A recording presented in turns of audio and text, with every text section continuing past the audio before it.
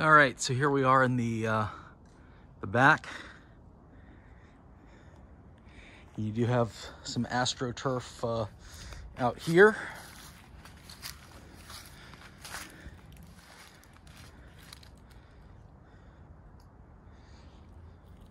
Fencing here could use a power wash and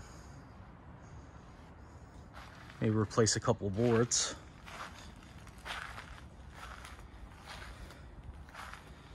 Do have a storage shed back there.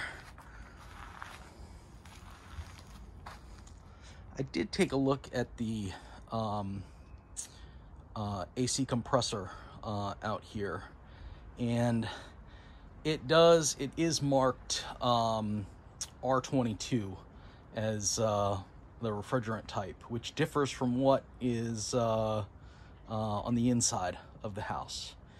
And um, that's kind of interesting to see. Um, I can't pull a date off of this, um, but based on the serial, I think that this is from 2000. So I think you have kind of a mix of equipment, um, you know, with the air handler being original, you have the compressor here, 2000, and then you have the inside AC coil, um, you know, I think, what did I say, 2009, 13, something like that.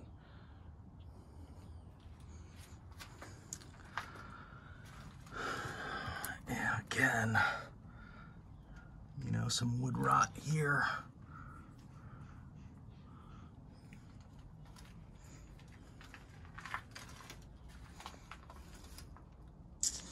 It'd be good to get that uh, that downspout not dumping right at the foundation too.